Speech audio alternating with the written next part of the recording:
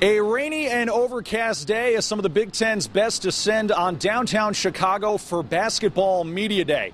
And for defending conference champion IU, what a difference a few months make. Back in March, Indiana was viewed as a massive underachiever after falling in the Sweet 16 to Syracuse. But based on early national perspective, if this year's group of Hoosiers was to reach the round of 16 in 2014, they'd be viewed as massive overachievers. Seven new faces will be welcomed to Bloomington this season, including six true freshmen, which means the onus for leadership will fall on two of the holdovers from a year ago Will Sheehey and Yogi Ferrell. What I've been doing is just uh, trying to get my teammates to trust me. I feel like myself, uh, they know me and Will, they know we want to be the leaders of the team. So what we've been trying to do is get those guys to trust us because, uh, you know, we know we're not going to do them wrong because uh, we know we have the best interests in the team and we just want to win. It's a little different, obviously. Um, you have to really relay messages to younger guys. Um, but from a basketball standpoint, really everyone's just got to play their role. So if everyone just knows what their strengths and weaknesses are and plays their strengths, then um, I think the team will continue to build. And it remains to be seen. It, will it'll, it'll start to show up when we're down four with two minutes to go on the road somewhere.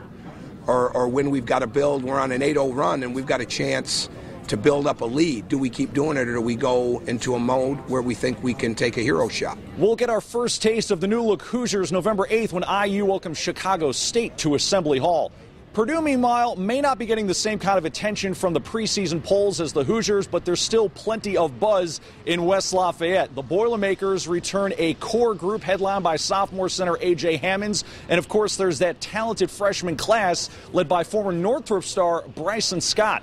There's no question Matt Painter has the pieces in place to improve on last year's sub 500 mark in the Big Ten. Know, we have um, we have so many pieces um, to our puzzle this year that, that can um, you know guys are, are able to do different things. Uh, we don't have you know just one guy or two guys that can score. We have you know a lot of guys that can score, rebound, and things like that. We just want to go into the season and uh, kind of turn around what uh, happened last year.